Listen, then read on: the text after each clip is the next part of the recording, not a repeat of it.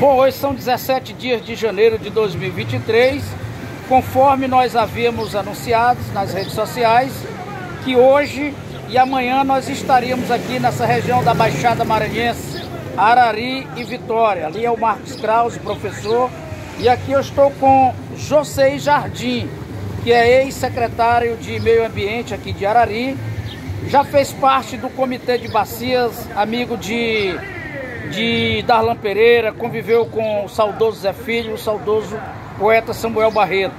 E é a primeira pessoa aqui em Arari que nós estamos tendo contato para buscar informações sobre a questão do rio que deságua aqui, que encontra com o mar e da Pororoca.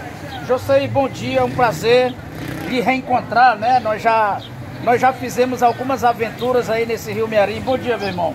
Bom dia, bom dia a todos que vão ter acesso às informações. É um prazer sempre receber amigos, amigos de comitê, amigos é, é, da cidade de Pedreira. Isso, Pedreira. É, e aqui eu queria também, além dos nomes citados, como Zé Filho, um grande irmão que se foi, que Deus levou, mas também o Ivo, que é um ah, grande Ivo, parceiro o que a gente Ivo, é. começou essa grande amizade. Um abraço para todos, é um prazer colaborar. Certo. José, é, você estava falando de um lago aqui que tem como nome Lago da Morte. Você contou um pouco da história desse lago. Queria que você contasse agora para nós, porque você nos falou em off. Agora queria que você falasse para ficar registrado, para ficar no blog do Joaquim Filho e no blog do professor Marcos Kraus. Beleza. Bom, vamos tentar contribuir da melhor maneira possível, mais rápido. Mas o, o Lago da Morte, é, que era grande floresta, um passado bem distante, e depois se tornou um manguezal. A partir da retirada dessas madeiras para abastecer os vapores que passavam outrora pelo rio Mearim e que chegavam até a cidade de Pedreira com mercadorias vindas de São Luís, é, esse, esse grande lago, esse grande, essa grande floresta de mangue foi se desfazendo e se tornou o lago.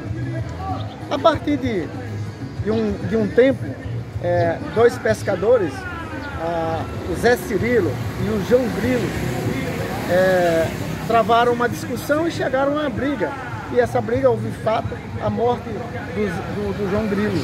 O João Grilo, a partir da morte, o lago ainda era um povoado Arari e ficou conhecido como Lago da Morte. Daí em diante, esse lago, ao desabastecimento de madeira, se tornou realmente um grande produtor de peixe, um dos maiores berçários da Baixada Maranhense, de qual recebe água advinda do inverno a, partir do município de Santa Rita, que são águas de transição que se acumulam aqui até o final do mês de março para meio de abril. E aí, assim, com a diminuição do inverno, essas águas retornam ao mar através do rio Mearim, antes passando pelo Garapé do Nema. E o do Nema, ele tem esse nome dado a um cortador de madeira para, para as, os vapores, chamado João Nema. Esse João Nema retirava as madeiras e trazia arrastado em carro de boi. Essa, esse, por esse arrastar, né, nesse caminho, foi gerando um córrego, que ficou conhecido com o nome João Nema, com a força do inverno e o declínio da área do lago, que é mais alta do que a água, a área do rio, a água foi correndo por esse córrego e se transformando hoje no que é o Garapé de Nema. Beleza.